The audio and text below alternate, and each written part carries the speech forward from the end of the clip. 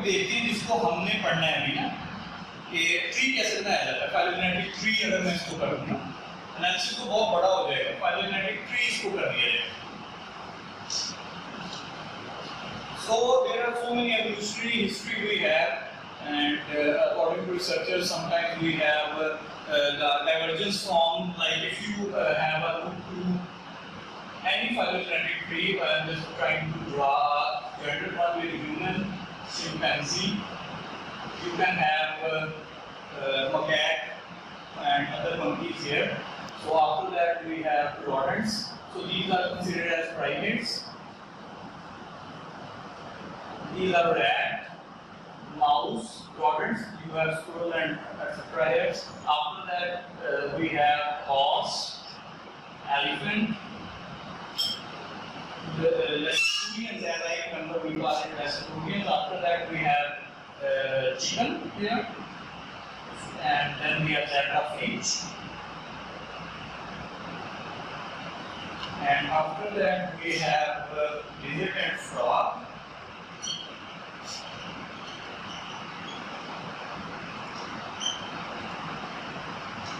And then we have uh, fishes.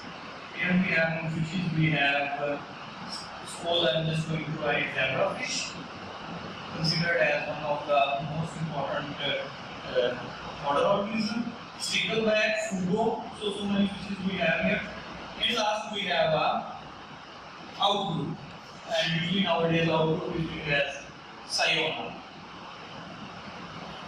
So. Uh, when we are going to just uh, analyze any protein or gene for phylogenetic tree, first of all, if we are just working on protein, so we have that protein sequence. Suppose there is a gene ABC, so we just have to uh, retrieve the protein sequence of ABC gene or any other gene like DAOA or DRODH or any other gene you have. So you, you just have to take the protein out from uh, UniProt, retrieve it from UniProt. After that, you have to use the BLAST software.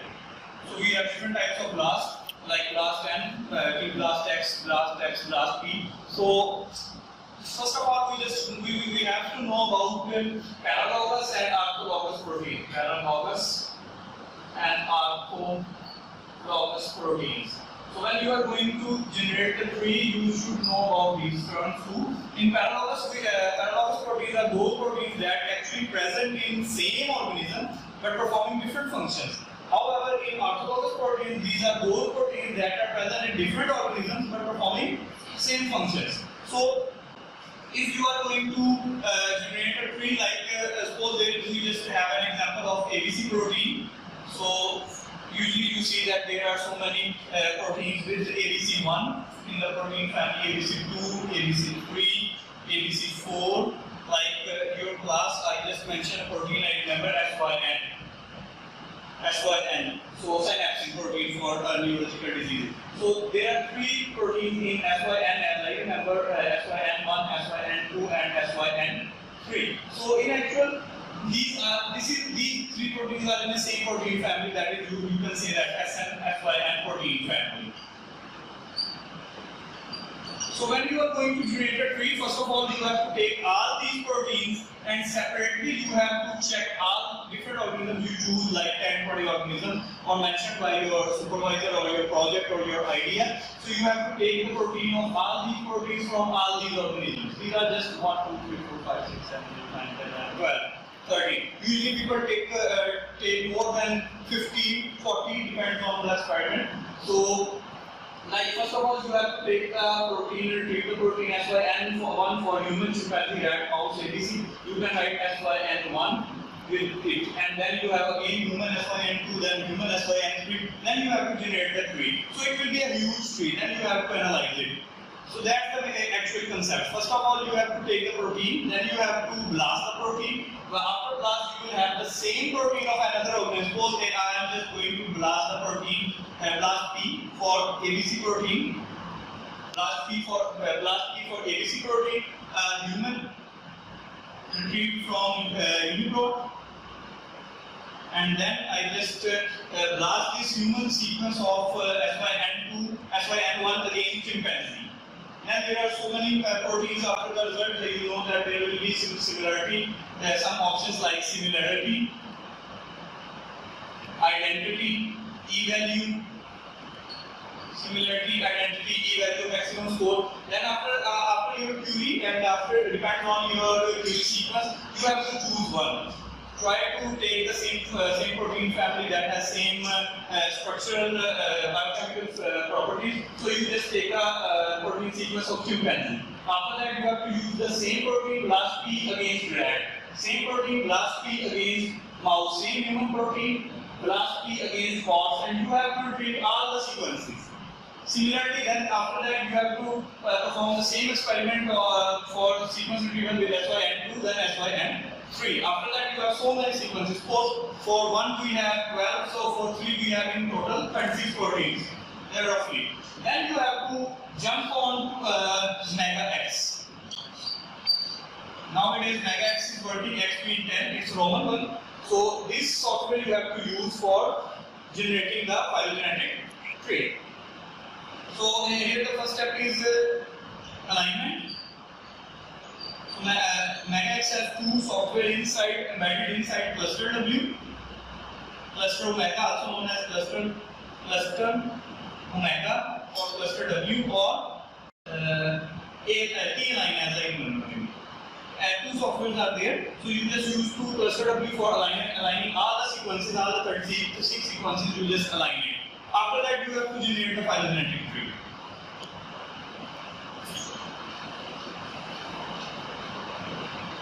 After that, you have to generate the phylogenetic tree. So, that phylogenetic tree, you know, there are so many types of phylogenetic tree, maximum parsimony, like uh, uh, likelihood method. So, you have to read it that which one is which one is accurately related to your experiment. So, which type of study you are going to do. So, these depend all on your literature. After that, you will have a tree.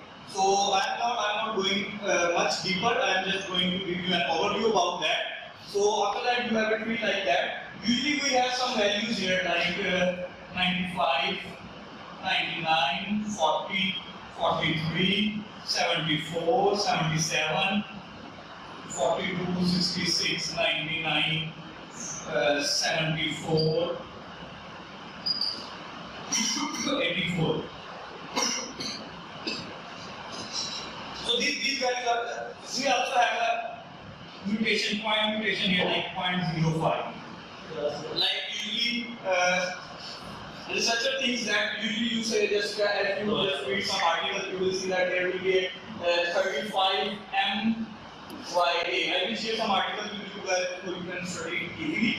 So this means 35 million years ago. So it is considered that human was diverged from chimpanzee 35 million years ago. So these are the values that is known as bootstrap values. Bootstrap values. So with MegaX we have to generate this bootstrap value and when you are just going to uh, generate the tree there is an option uh, for bootstrap value you just have to choose 1000 minimum 1000 here. So what does this bootstrap value mean in actual?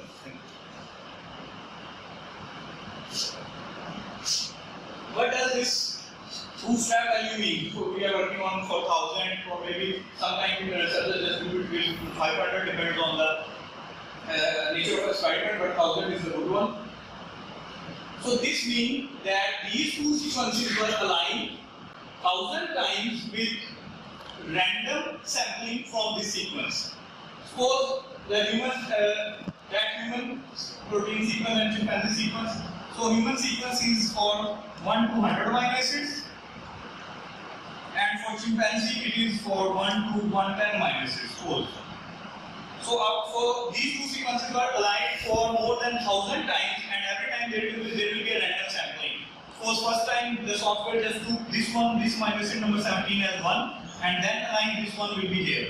Then there will be 23, then there will be 46, then there will be 99. So there will be random sampling from these sequences and align it. And what does this mean 95? This means that 9, 950 times the same result appear.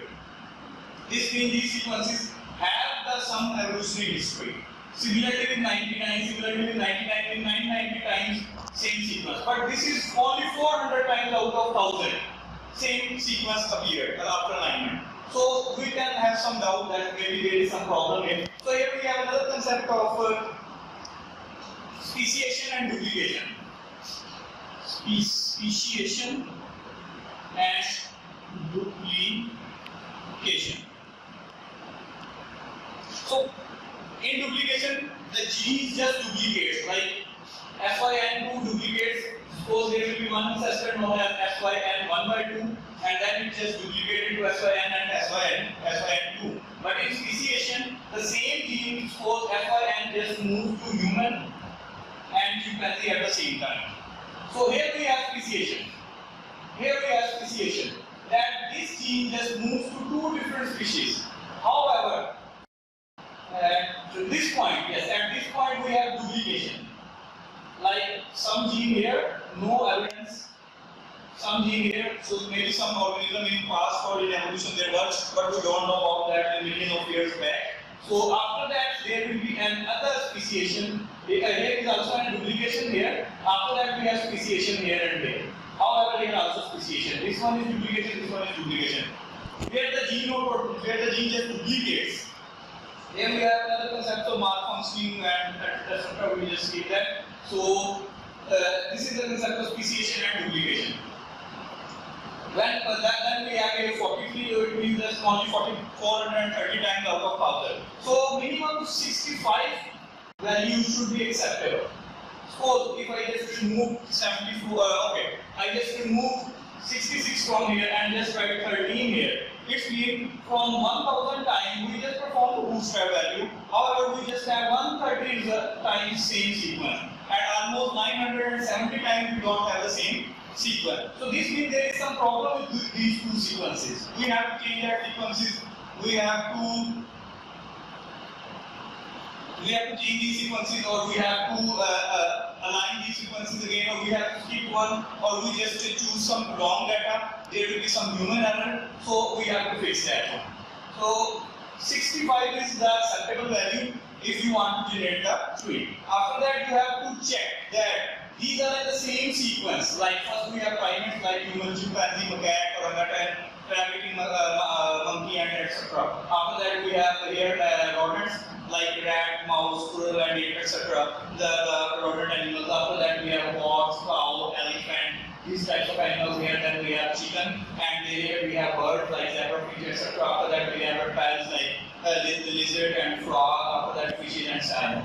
And if there will be suppose uh, rat appears here, suppose if we have rat and mouse here, after birds, and here we have uh, fish, suppose so we will consider this as a wrong because this should be in alignment.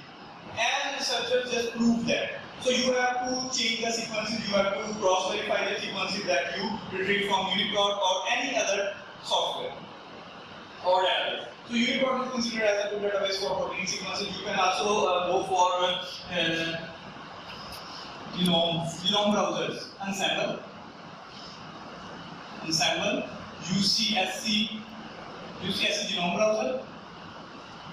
If you can, if you know how to use that, you can uh, retrieve the sequences from there. So, uh, as I remember, the updated form of Ensembl also generated some uh, tree for you, so you can uh, understand it easily. Then we have this value. This is an point mutation value. Sometimes it is 0.05, sometimes it is 0.01. This means that how much percent mutation occurs in this history in according to this tree. And you always have to read the tree from left to right, not from up to down or from uh, down to up. You always have to read the tree from left to right. If I will generate a clear tree for reading, it should be like some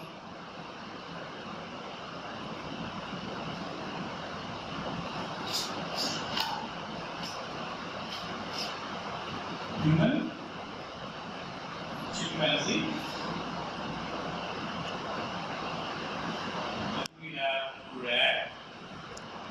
mouse.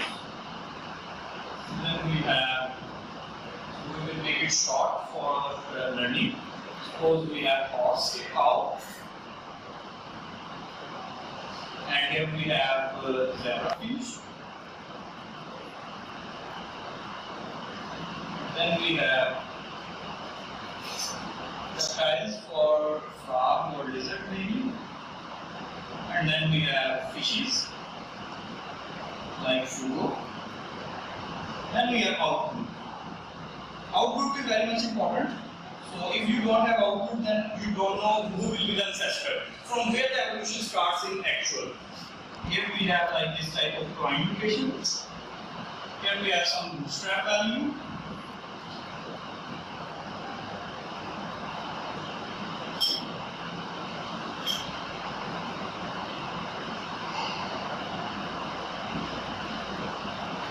So we have to read the tree from left to right. Like first of all, there will be a outgroup sign and after that here we have the gene. Suppose this is the gene SYN1. So the gene were here. After that there will be a duplication here. At this step there will be a duplication. So gene came here with SYN and here also. After that we have a speciation at this position and this gene just diverged from two, just moved into two, two different species. Here we have again duplication here, and here we have speciation. Speciation. Here we have again duplication. The gene duplicate contain one one one of its copy here and another copy this at this position. After that we have speciation here. So you have to read the tree from left to right, not from up to down or down to up. So you have to read always read it from left to right. Sometimes we just uh, try to read it from up to down for our understanding only. However, you have to read it from left to right. So you have to check the sequence of the uh, animals or organisms you are going to choose. You have to be very careful for choosing the uh, sequences. It is very much important that which sequence you are going to use. Usually people what, what people do, students at the early stages, they just have a sequence of SYN1 for human protein sequence. After that, no blast, just take the sequence of chimpanzee, the first one, usually. First one rat, first one mouse, so there will be some problems. Usually it causes problem. More than 70% it causes problems. Sometimes it works, but it makes problems. So first of all, you have to choose a sequence of SYN one. Then you have to choose. Then you have to check the protein family SYN2, SYN3, or how many proteins you are going. Some some proteins, some families have so many proteins, some families have 20 proteins. So you cannot handle this big tree. So you can choose only three or two members of that family depending on the experiment or nature of your experiment. After that, you have to take the human sequence of SYN1. After that, you just blast it. You just use the, you have to perform the blast. Software blast P against chimpanzee for, for UniProt or for any genome database, or depending on the nature of your experiment. Then you have this sequence. After that, same with this same. Use the same for everyone. Then you have to align it with the help of Clustal W. T copy as a line. So anyone you can use for that one. Then you have to just generate the tree maximum parsimony method or likelihood method depending on the experiment. So these these uh, these things you have to clear by your literature or depends what you are, what you want. After that you have a tree, you just perform the bootstrap value, then you have to analyze the tree and then you have to discuss the tree. Then you have to write the discussion of that tree. So what is happening in this tree? What adaptive evolution you just have to uh, you just have to present the audience. Suppose we have nowadays COVID-19. So the software, the virus is SARS-CoV-2. Before that there was SARS-CoV. Then there was MERS. I. Okay. So these three genomes usually people just analyze. Usually people just try to uh, check the adaptive evolution of uh, these three genomes or the specific protein of these three genomes that what is happening, what changes happened. So these two are not much, uh, these, sorry, these two are not much deadliest. It was happened in past, something happened. But this one is more deadly as compared to these two. As I remember, birth was in 2012, some, some uh, almost nine years back. However, we know about that, but there was no so much that